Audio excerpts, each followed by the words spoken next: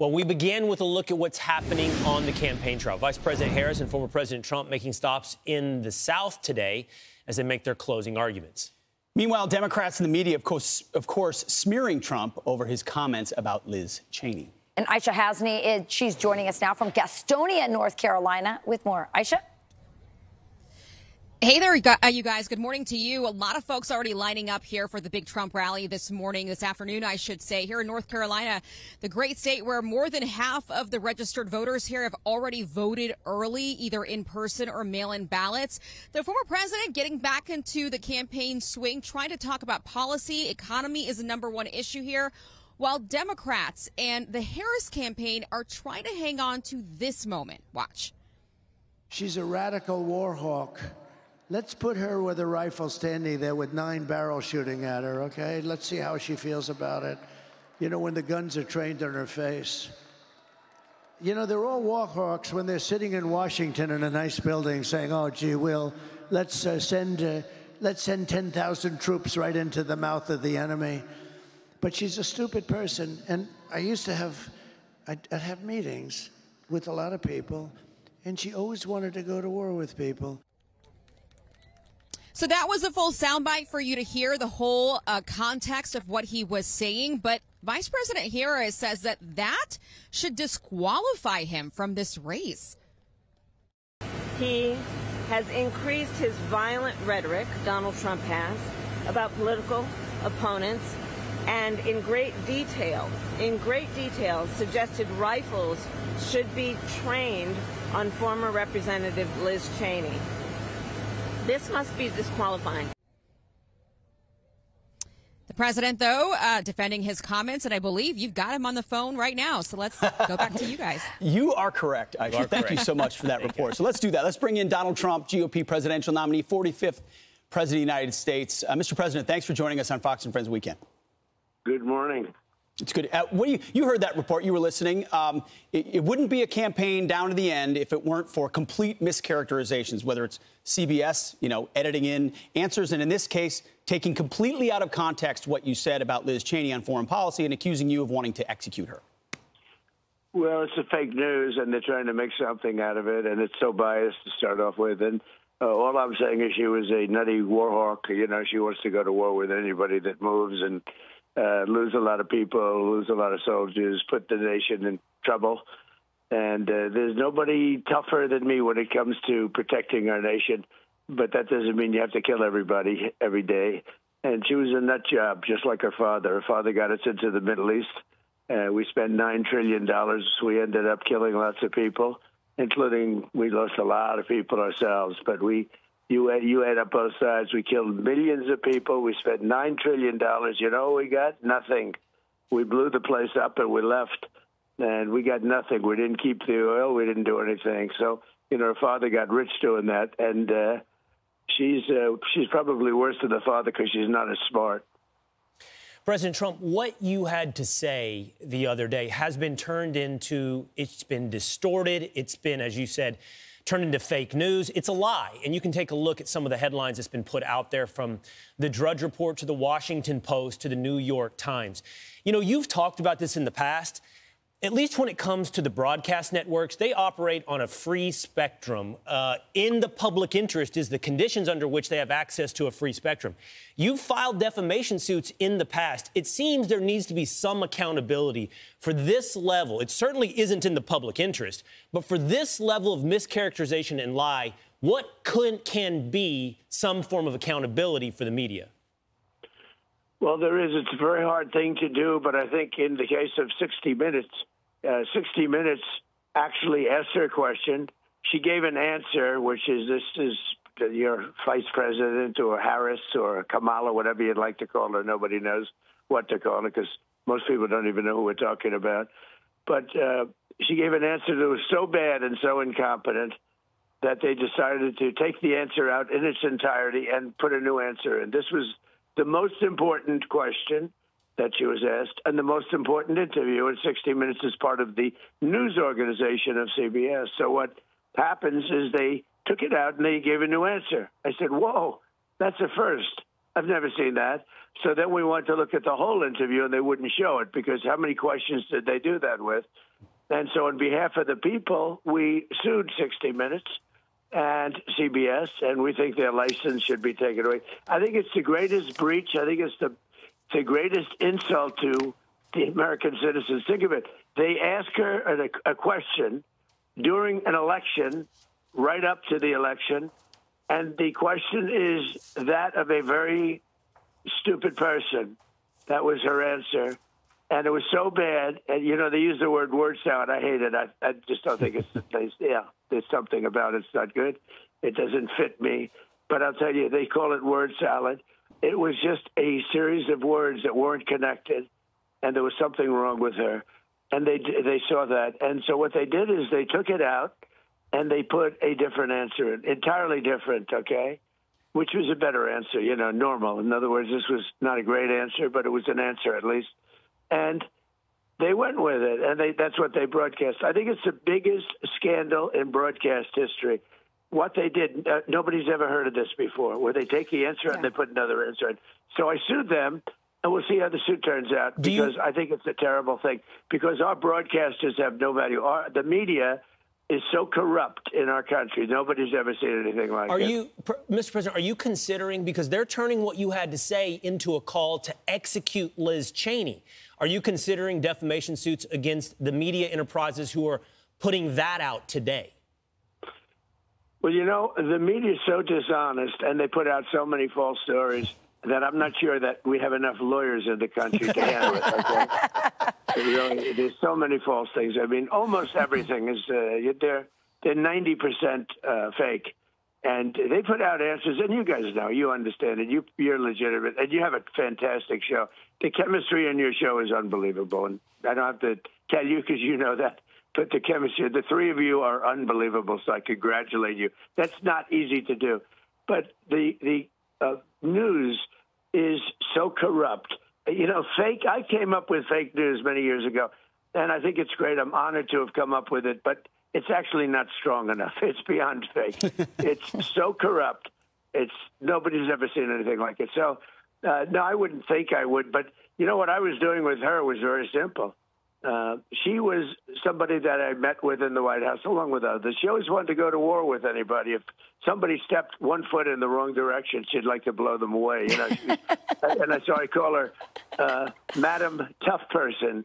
I said, "Oh, she's such a tough one." Oh, you know, jokingly, sarcastically, I'd say, "Oh, we have this tough one coming." Every time I saw, her, I mean, literally, if if there was a drone that happened to fall down on our property, she'd say, We're going to go to war with Russia. Let's start a new war with Russia. So yeah. she was, and by the way, those aren't tough people. Those are stupid people, okay? And she was always like, you know, pressing for word. In fact, it's why I had a fallout. I didn't want to deal with her too much because she was always uh, like difficult, but she was like a war hawk. So what I was saying is, this is a big shot. Thinks she's hot stuff. Her father got us into war, killed millions of people. He pushing Bush around and you know her father was one of them. Stupid guys like Bolton too. You know Bolton was a dummy, and what happens is we don't need that. You know I had no wars, and yet we had the strongest country. We, we were totally respected right. by China, by Russia, by everybody. But you don't have to kill people every day to do that. I had no wars, but I rebuilt our military. We it was peace through strength, and it was a beautiful thing. But what I said about her is that a lot of times these bullies, she's a bully. She's a nice female bully, okay? And a lot of times these bullies, they're really weak people. And all I said is, let's see how she does. I said, put a gun in her hand and let her go out and let her face the enemy with a gun in her hand. And they'll have nine people or 12 people or a 100 people. I said, uh, let's see how she stands up because I say she wouldn't have the guts to do it. You know, you have a lot of these Washington people and they sit there and they say, let's go to war here. Let's, they would start wars. If I weren't here, I would have had wars all over the place. I actually defeated ISIS. I inherited that, but I didn't have any wars in 82 years. I'm the only president. And yet, during my term, we were more respected. I will tell you, President Xi and Putin and Kim Jong un, all of them, they respected me more than any other president for many years, maybe centuries, if you want to know the truth. Total respect. And they didn't know where I was coming from. I took out hundreds of millions of dollars for our country from China hundreds of millions in taxes and tariffs. And yet I had a very good relationship with President. He couldn't have loved me, but we did. We had a very good relationship. I had a good relationship with everybody. I try and convince the fake news that's a good thing. You know, when somebody like Russia, as an example, has uh, 1,500 nuclear weapons, it's not bad when you get along with the head person. Mm. I will tell you what, Russia never would have gone into Ukraine if I were president. Never, not even a chance. October 7th never would have happened because Iran was broke. They had no money. October 7th with Israel never would have happened. And the leaving of, if you take a look, the leaving of Afghanistan, the way we did it, it was so bad. Leaving was good. I was all set up. I was going to leave with dignity and strength, take all of our equipment. They kept billions of dollars worth of equipment. Best they displayed it two weeks ago in your show, going down a boulevard, right? Uh, mm-hmm. Now we we need smart people. People like her get us in trouble. Uh, yep. It costs billions of dollars, kills millions of people. And I say, and I say she's a coward, and I say a lot of people like that. Those people, the bullies we call them, those people are always cowards. Yeah. Listen, I definitely think War and Peace is on the ballot, and I think people appreciate you calling out the warmongers, but also the fact that they made money off of that. And I think people appreciate yeah. that. I want, I want to move to this because, you know, I didn't think you could top the McDonald's troll, but then you showed up to that rally in a garbage truck in, in Green Bay, Wisconsin. And I think as you're closing this message, uh, this, this campaign, this, uh, this, this campaign of yours uh, yesterday at the rally in, in Milwaukee, you said you can't lead America if you don't love America and if you don't love Americans. And so that's obviously a reference to the to the garbage comment and so many of the other comments against women saying, you know, that they, you know, can't, you know, uh, they're, they're not strong enough or coming from some of her supporters. So what's your closing message about your love for America and why you're doing this? Because a lot of people are wondering that, you know, as you've taken bullets and so forth um, this summer. Well, it's an interesting question. I mean, a lot of people ask uh, combinations of that question. I could have a very nice life. I wouldn't have to be talking to you right now, which I actually love doing. I could be on a beach someplace. Those beautiful waves would be smacking me in the face with that nice salt water. So nice. I could get a nice, beautiful tan. My beautiful skin would be nice and tan, dark. but you know what? I, I couldn't think of even doing it. I love what I'm doing because I'm saving the country. Our country's in trouble. We have two incompetent leaders, very incompetent. He's incompetent, she's incompetent. It's only a question of who's worse. I believe she's actually worse than him, if you can believe it. And she is doing a terrible job. The world is laughing. I don't know. I mean, I think it's a big deal, very big deal. Actually, couldn't be worse timing for them.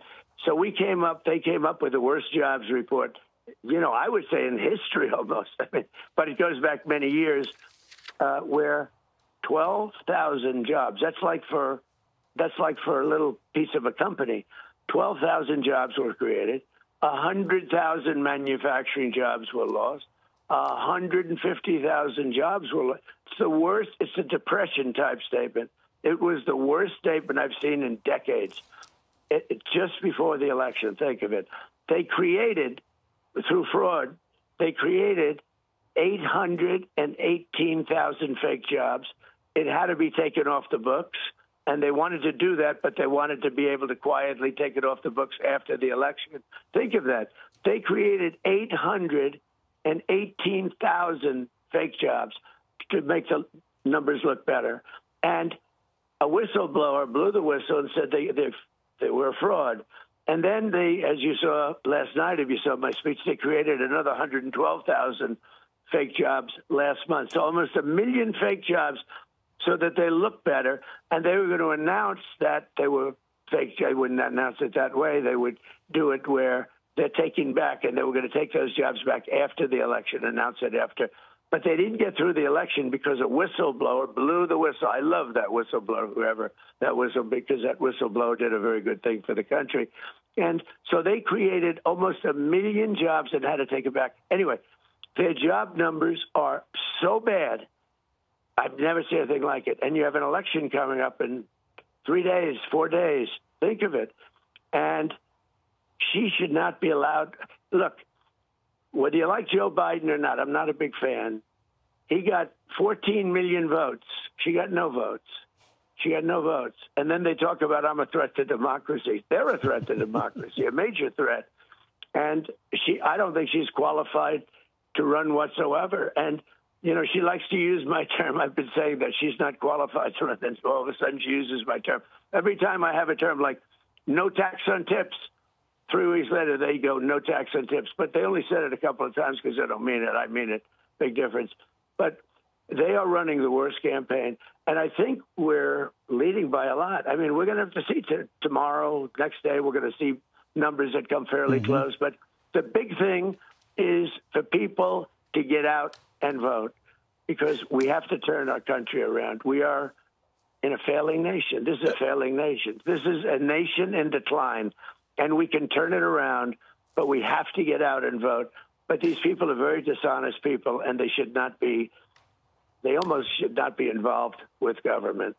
Well, Mr. President, uh, you know, all of us have been in diners across the country, and there's so much always going on in the news, but it always does come back to I made money under Trump, or my mm. money went further under Trump. Uh, and, and, now, because of inflation and the economy writ large, uh, I don't have the same kind of opportunity I had. You just talked about those job numbers, how they revised them for months, uh, basically had to be honest about numbers that were inflated. Now they come in at 12,000 jobs. That's not even, that's barely good for a county, uh, let alone a country. Uh, yet your critics will say, well, your tariffs are going to, that you say are going to are going to crush our country and create inflation. What do you say to people that criticize your economic approach to how you bring prosperity back to the country? Yeah, well, stupid people say that, Pete. the most beautiful word in the dictionary is tariff. Now, for purposes of your viewers, let me change it. I'll say love and religion. Okay. And I'll make tariff the third most beautiful word. but the most beautiful word is there. It's going to make us rich, and we're going to tax companies if they don't build here. In other words, if you don't build your plant in the United States, we're going to tariff your product because we don't want to really want your product if it's going to be made in Japan or China or someplace else. We really don't. And I had that going good. I took in hundreds of billions of dollars from China. I took in a lot of money from other countries. It was really rocking. Uh, we and then we had an election that unfortunately uh, didn't exactly go the right way. But you know that whole thing. I won't. Talk, I won't talk about it because I want you people to keep your jobs. Okay, people are so afraid. You know, people are so afraid to talk about it. You're not allowed to talk about an election, so I won't do it. You three guys, if you lost your jobs, I would be the most. Can you imagine? Say I cost those three people their jobs. This is the worst. That would be the worst thing I think I've ever done in my entire life. Anyway, there aren't too many like you. We have to keep you around, so I won't talk about it. But look, uh, it's we need tariffs. They're going to bring in billions of dollars. They're going to bring our budget. They're going to bring us factories. We're going to uh, Detroit will be a mecca. Let me tell you one quick story. They're going to build the largest plant anywhere in the world for autos, auto plant, in Mexico near the border. It would have been bigger almost than all of Michigan, every plant. It would be super modern, the largest and I'm sure you'd love to know that it was owned by China. And it was all set. A friend of mine who builds plants, he's one of the best in the world, maybe the best, probably the best. I said, let me see a plant. He said, no, well, they're none here, but you can go to Mexico. They're building big plants in Mexico. So I said, I don't want to go to Mexico. I want to see it here. He said, well, the only ones that you can see are in Mexico. They're the big ones. I said, I'm not going, forget it. But anyway, I thought about it. Then I realized if they build that plant, Michigan's going to be wiped out. All of Michigan, everything, but Detroit – is going to be totally wiped out. And the smaller, you know, plants they have, they're all going to be closed up. It's going to be a disaster. So I announced that I was going to put tariffs on any cars made from that plant and any cars coming in from Mexico. And I just did that, and it was interesting, and didn't hear much about it. And then yesterday, the other day, I said to my friend who builds the plants, "How's that plant coming along that you told me about a year ago?" Sir, uh, they have decided not to go forward with the project. Why? Because they think you're going to win the election, and if you win the election, uh, they know you're going to put tariffs on the plant, and they're going to lose their shirt, and they're not going to build it. Think of that. I stopped the biggest plant in the world just by telling them, you want to build a plant and hurt our country and destroy Michigan and hurt South Carolina and others that do it, Tennessee. We have a lot of areas that build cars. But Michigan in particular would have been hurt. It was aimed at Michigan, literally aimed at Michigan. They wanted to destroy Michigan. And I did my tariff thing. And without even being president, I stopped the largest plant anywhere in the world. It was going to be so big. They were going to rip us really big league, sell them right into our country, and we would not have been able to compete. Now, I said to him, I told my friend, go back to him and tell him we'd love to have you build your plant, but only if you build it in the United States of America.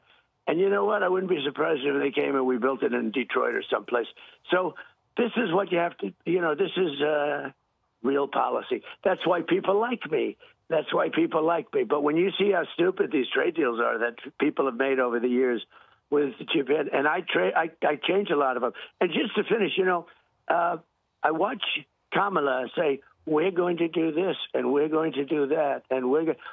She's the worst ever on the border. And Border Patrol endorsed me, you know, with the best. They said he's the greatest president we've ever had. We give him full endorsement. And they said she's the worst. Of everybody we've ever dealt with, she's the most incompetent. She's the worst. They actually said that. I said, that's the greatest endorsement I've ever had. Uh, by the way, Elon Musk endorsed me. Kennedy endorsed everybody's, almost everybody's endorsed me. And if I don't win, our country is in really big trouble because you see those numbers that came out yesterday, and those numbers are the worst I've ever seen. And it's going to get much worse than that. Mm. And the only thing worse than that is a depression like in 1929. And that's right. where we're headed if I don't win. So, uh, you know, and I just want to thank you guys. You, you've been so great. On the Cheney thing, it's a media, I call it a media hoax. I said, oh, we have another media hoax. Well, they had another one. So we had the biggest day ever. Madison Square Garden said in the history of Madison Square Garden, Jim Dolan told me this, the owner, he said, did a great job we had Madison Square Garden filled to the rafters, but more importantly, we could have filled it up 10 times. The people, the, the love, too, the love. It went all the way down to the Hudson River. Most viewers don't know what that means, but that means blocks away. Uh, massive groups of people. They couldn't even get near the garden. People from Madison Square Garden told me they've never seen anything like it in the history of Madison Square Garden. There was love. And it was a great triumph. And by the way, totally peaceful. There were no riots. There were no, the police were great, New York's finest. But Madison Square Garden, it was unbelievable. Well, I guess somebody put on a comedian, and he joked. He was a comedian. He joked. He mentioned Puerto Rico. And all of a sudden, the Democrats, and they are good at this stuff, by the way. That's the only thing they're good at. They're no good at policy. They're no good at government. They're good at other things. They're very good at cheating, but other than that, they're not good at anything.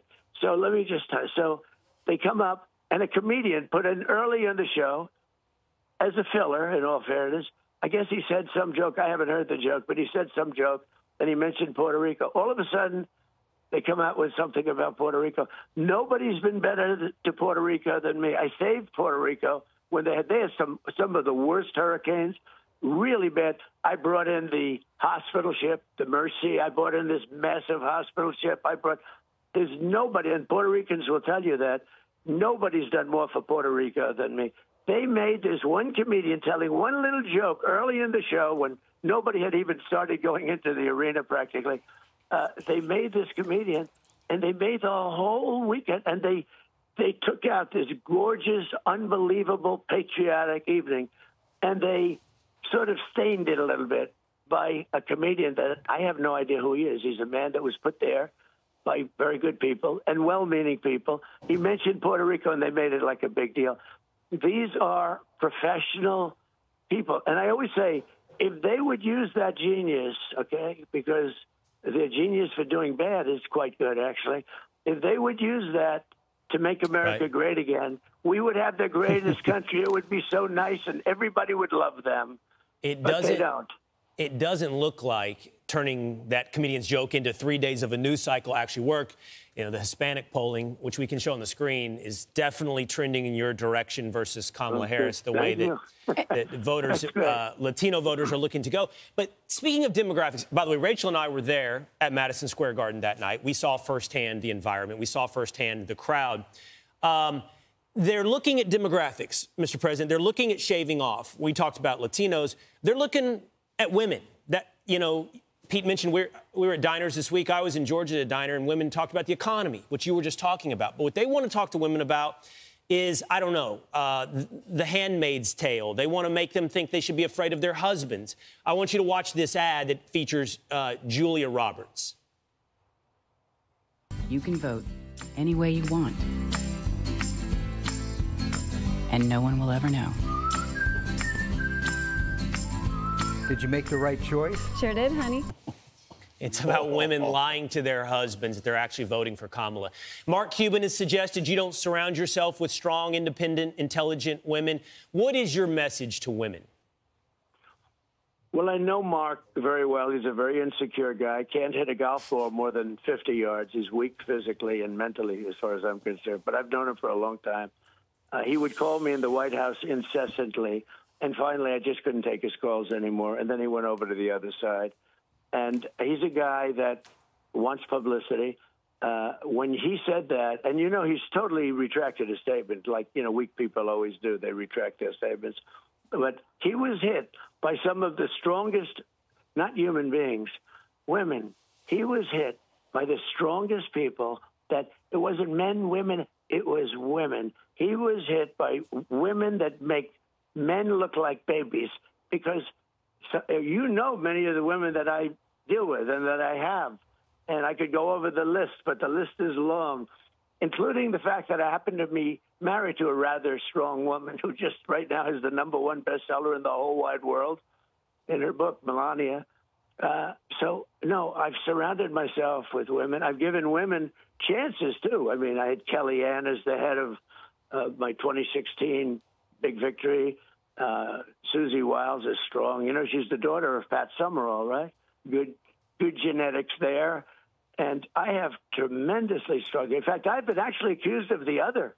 They said, couldn't it be like, couldn't you get women that aren't as strong? I, I have more problem the other way until Mark Cuban came along. But, you know, Mark, I'm so disappointed at Julia Roberts because I look, and it's, she's going to look back on that and she's going to cringe that, did I really say that? It doesn't say much for her relationship, but I'm sure she has a great relationship. But the wives and husbands, that, I don't think that's the way they deal. I mean, can you imagine a wife not telling a husband who she's voting for? Do you ever hear anything like that? Even if you have a horrible, if you had a bad relationship, you're going to tell your husband it's a ridiculous ad. It's so stupid. She's going to look back someday and say, "Did I really make that?" You know, they're into this thing. Look, I'm running against the worst candidate probably ever put up by a major party. She's grossly incompetent. Uh, she can't put two sentences together. And you take a look at the 60 minute piece, seriously, look at the answers she gave. And now we want to see, by the way, whether or not they did that with other answers, and they refused to give us the papers. So we should. I'm, you know, I'm doing it for the people, but somebody has to do it. Um, ABC is, I've always said, very corrupt. Uh, they asked me during the debate, this guy, uh, what's his name, asked me so many questions, just always questions. He said, no, crime is down. I said, no, crime is up. Crime is down. I'm sorry. Crime is down. David Muir, he said, crime is down. I said, what's wrong with you? Crime's not down. Something. And he said, crime is down. Well, you shouldn't have done that.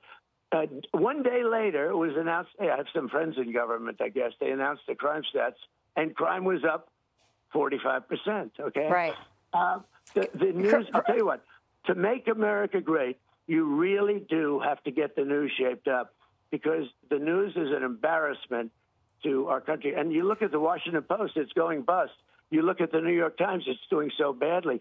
But the Washington Post, everyone's quitting, it's leaving, everyone. It's like crazy what's going on there right. because they don't have credibility anymore.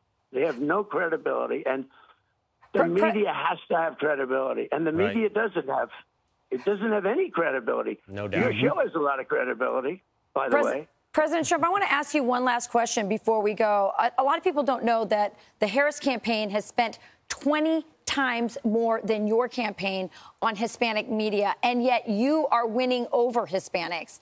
Uh, what's your message to them? Why do you think you're resonating with them better than any other Republican president, really e- even surpassing uh, George W. Bush?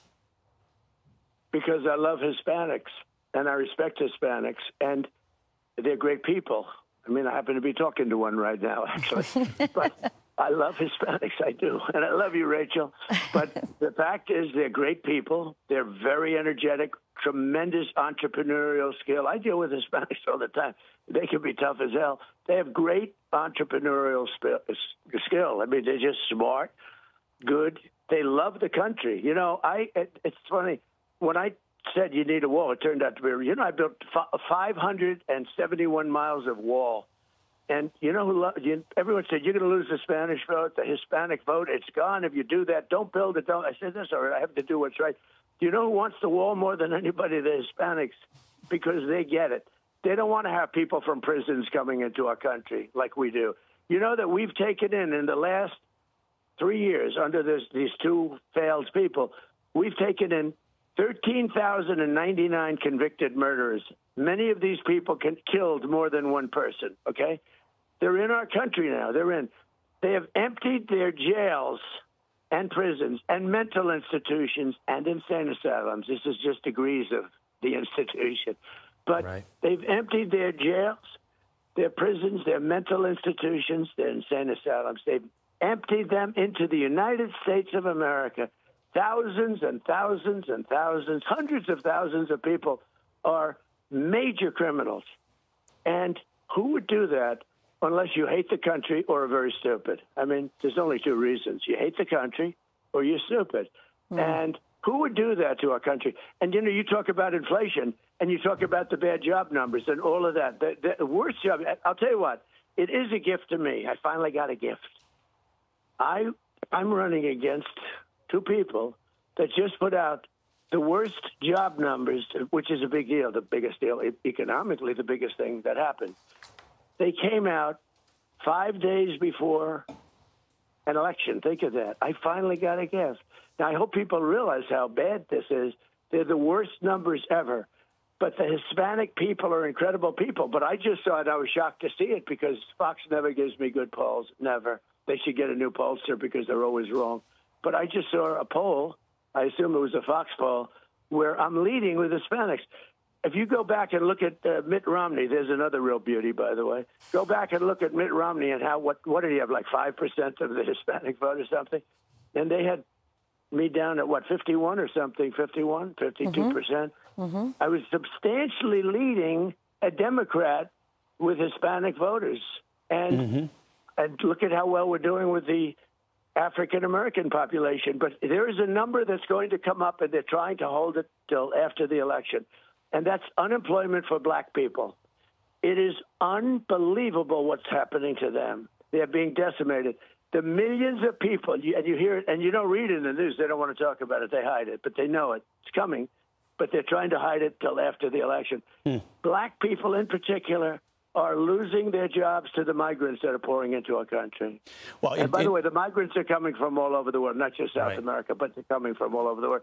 And the black people are losing their jobs. People that have had a job for 20 years, good job, good people, they have a house, they have a mortgage on the house, all that, they're being fired and being replaced with the people that are coming in, the migrants, coming in illegally into our country. And the other thing is migrant crime. The migrant crime is massive. It's it's and it's at a level of viciousness. It is so vicious. You see it. I play it all the time. I, at the you know I play clips all the time. Uh, Jocelyn and uh, I mean we I could go. I could give you right now in this call. Right. I could give you ten, but thousands of people are suffering with this vicious migrant migrant crime. But if you look at the black, you should demand it because they have the numbers, or they're very close to having the numbers. When those numbers come out, and here's the problem: they're going to come out right after the election. They're trying to hold it till after the election. Well- the black jobs are being people with black jobs, black they black people that are working so hard and they've had jobs for 20 years, they're being fired and they're being replaced. And when you look at those numbers, it's going to make your job numbers look relatively good by comparison. It's a big problem. Well, the, It's a the, terrible, the, the terrible numbers thing. the numbers that we do have, uh, Mr. President, are on the economy. It's like getting an F on your final report card on the most important subject of the year, Yeah. uh, and that's what Yeah. has been uh, has Yeah. been delivered. They just got an F. Thank you. That's a very good way of putting it. right, that's right. Well, uh, They- Mr. well, that was nice. I got help. There we go. An F on the report card. Mr. President, we know you have a very busy day. Uh, you're very generous with your time, giving us a half an hour on Fox and Friends weekend. We wish you luck uh, on the campaign trail and, and safety as well, considering what you're up against. Uh, President Trump, thank you for your time. Thank you. Thank you, Mr. you all President. very much. Thank you very much. Absolutely. Thanks. Great to talk to you. I'm Steve Doocy. I'm Brian Kilmeade. And I'm Ainsley Earhardt. And click here to subscribe to the Fox News YouTube page to catch our hottest interviews and most compelling analysis.